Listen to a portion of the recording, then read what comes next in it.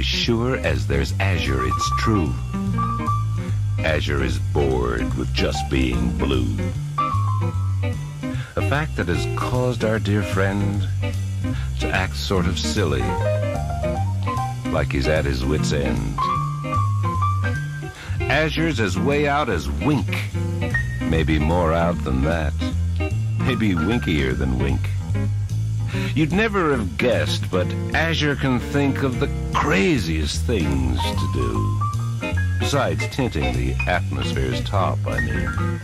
Azure would rather let the sky be a white, upside down bowl that Azure could azure with clouds inside, or possibly freckle with birds.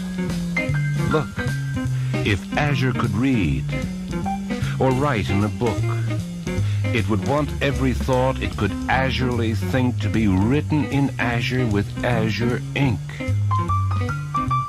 Why? Just to be different. That's the name of the game. You see, Azure can't stand being anything sane.